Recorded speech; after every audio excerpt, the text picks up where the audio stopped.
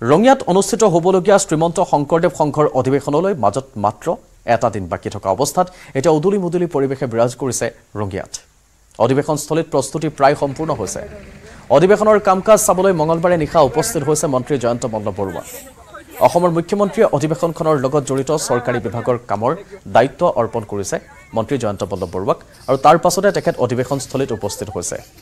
চৰকাৰী বিষয়াসকলৰ সৈতে অধিৱেশনস্থলীৰ কামৰ সন্দৰ্ভত অগ্ৰগতিৰ পৰ্যালোচনা কৰিছে।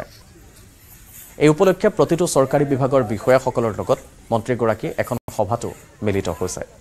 সভাখনৰ প্ৰতিটো বিভাগৰ কাম কাজৰ খতিয়ান লৈছে তেখেতে। এই আলোচনাত কমলপুৰৰ বিধায়ক দিগন্ত কলিতা ৰঙিয়া সমষ্টিৰ বিধায়ক তথা ৰাজ্যিক বিজেপিৰ সভাপতি ভৱেশ কলিতাও উপস্থিত থাকে।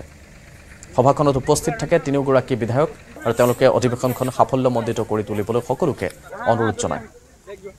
ইতিমধ্যে অধিৱেশনলৈ বুলি অসমৰ বিভিন্ন প্ৰান্তৰ পৰা আগমন ঘটিবলৈ আৰম্ভ হৈছে ভকত বৈষ্ণৱৰ।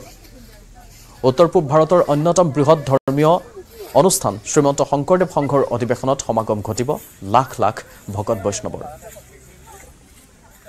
শ্ৰীমন্ত শংকৰদেৱ সংঘৰ বাপ বান্ধৱ আই মাতৃসকলে খুব সুন্দৰভাৱে ইয়াৰ প্ৰস্তুতি চলাই আছে। বিগত সময়তো মই যিমানবাৰে আহিছোঁ মই বিশেষকৈ চৰকাৰী বিভাগসমূহৰ যি দায়িত্ব আছিল সেই দায়িত্বসমূহ ঠিকমতে হৈছেনে নাই সেই কথাখিনি পৰ্যালোচনা কৰিছিলোঁ। আজিও শেষ পৰ্যায়ৰ পৰ্যালোচনা কৰিলোঁ। সকলো কাম খুব সুন্দৰভাৱে হৈ আছে।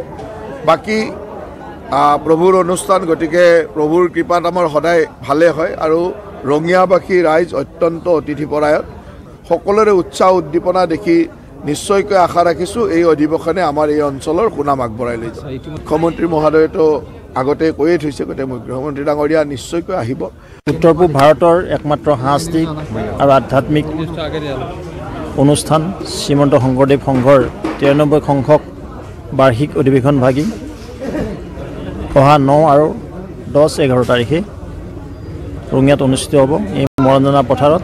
আৰু ইতিমধ্যে প্ৰস্তুতি তুংগত ইয়াত যিখিনি গভমেণ্ট ৰিলেটেড কাম আছে এই গোটেইখিনি কাম কিদৰে হৈছে বা হোৱা নাই গোটেইখিনি চোৱা চিতাৰ কাৰণে আৰু সেই নিমিত্তে আমাৰ সন্মানীয় মন্ত্ৰী জয়ন্ত মল্ল বৰুৱা ডাঙৰীয়াই আটাইকেইটা বিভাগৰ মুৰব্বীসকলক মাতি আনি ৰিভিউ বা পৰ্যালোচনা কৰিলে।